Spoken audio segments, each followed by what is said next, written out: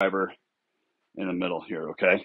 So a lot of times the CP will come into me, and really, if you look at the scale, let's say this is the scale of handicaps right here, you have plus five, you know, going up to, you know, 30, let's say 36 or whatever it is up here.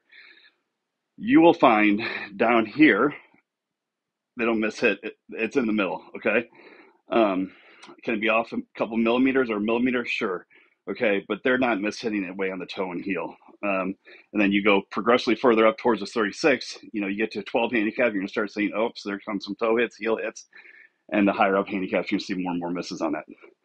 So, people ask me about this all the time, and you want to know about it and understand it. And I'm like, well, in golf, there's when we have issues with things, there's a technical reason why. Okay, so one of the things that's a struggle for me hearing is some somebody, let's say, say it's somebody tops the ball, they swing it, and then their partner goes right over them.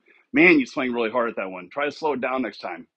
So here's the thing: could the person be swinging really hard? Sure, but that's not why they missed it, unless they're falling over or something. There's something going on, and I mean, could you just so nobody uh, remarks on this and says, uh, "Sure, could you swing too hard and move your body around too much?" Sure, right?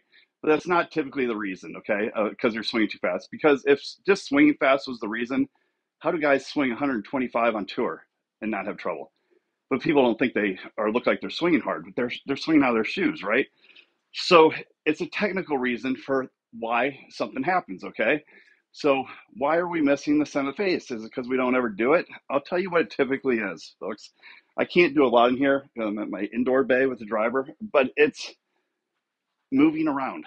We're moving way too much in the golf swing. Okay, so you'll see as the golfer head goes way like this, they're boom way over here, or their head's coming backwards. So they wonder, you know, why they're catching it more on the toe, one time on the heel because they try to get the arms out. So typically it's the body moving around too much. So there's this whole thing in golf about some people will say, keep your eye on the ball, right? I don't know how this happened in golf years ago, but it happened. So keeping your eye on the ball had turned has turned into well, we want to just watch the ball. Where intention, where this used to mean is when we hit this golf ball, when I'm at impact with this thing, I want structure to where my head is right here behind the golf ball, right at the golf ball here. I don't want it up here. I don't want it up here or here or here. I, it doesn't mean I have to be staring at it. Okay. I can do it with my eyes closed, but the point is structurally, I want my head to be where it started basically right here. So I'm structurally in a good place instead of up here or back here, up here, or wherever. That's where problems happen. So how do, how do we fix this? Okay. I would start with my rotational drill and I have a mirror here and a mirror here I'm looking at and I have markings on my mirror so I can see my head. I have a line right here so I'm in it. So I can see this. Let me go down to more impact and see where I'm at. And I'm pretty much right where I started. So the thing is, especially with driver, we cannot move forward on the ball at all. Okay, so here's another way we can do it. Especially this is great drill, folks. Are if you're an over the top swinger, great drill here. Set up the handle like this here. Now we're gonna get some nice wrist hinge on the way back to the top. Feel like you're a waiter. Get your butt going about 10:30. From here to impact. It's that nice angle we're coming in on. But look at where my head is. It's, it's perfect. My hips are out of the way. This just gives me a good way to feel what I'm trying to do, especially for those of you that are come like way over here, you're gonna really feel what it's like to stay coming like under, feeling like it's more underneath. But now I have the mirror, which mine's right here, to look at more and see how am I doing. Good. So this is another great drill for it. So I can't do it right here, but if you can have, you know, do your head on something where you put your brace your arms like this and then practice doing that, that's good. Here's the whole point I want to make clear about this thing. I don't like thinking about the head not moving, okay? Although I like it to be not stable, right? I don't want to go in here to here to here. But what I like to think about is it's because of the way we rotate, okay? So if I rotate nicely, look where my head is staying. My head is exactly where I started. I'm because I'm looking right in the mirror, I have it marked right now. So if I go here, I'm probably half inch behind where I started now, which I'd be okay with for a driver. Okay.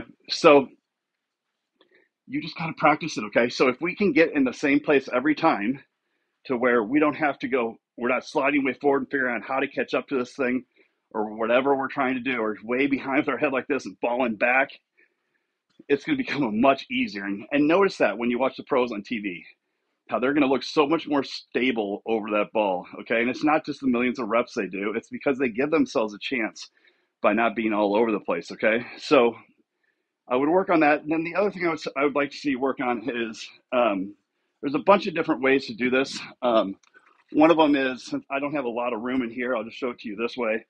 Uh, basically, it's a simple gate drill. Okay. So I would just go like this, tees. Now I can use alignment sticks, which I like too but you just build a little gate area like this. You know, and then also I would recommend getting some Dr. Scholl's to put on your spray your face, the foot powder, and then you can really see where you're hitting if you're struggling with it. So if I just build this little thing here, like I would probably recommend going a little tighter, but at least I have this little gate right now. And I built that pretty tight, so my heel kind of caught it because you guys can tell I hit that good. But that's one way to do it. You could also take alignment sticks. This is another great way too, and just build yourself a little railway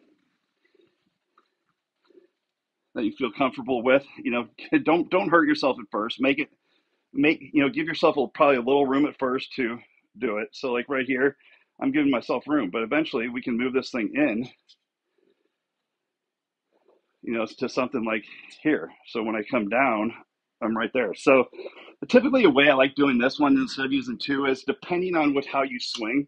For me, I can get too far inside out.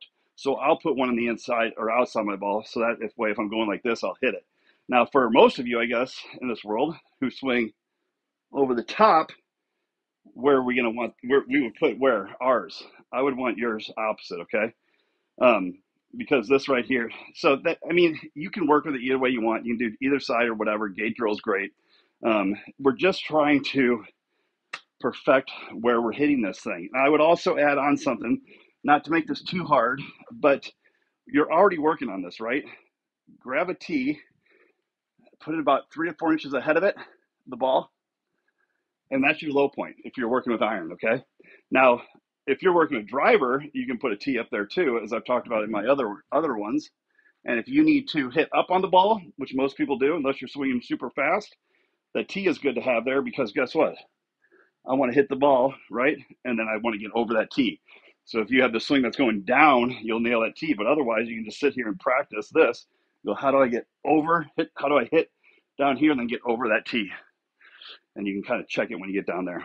And then the final one I would show you, and I have a bunch more. You can read it about it in my blog and see other videos. Is I like doing this one. People seem to learn a lot from this. So you go up to the top and come down super slow.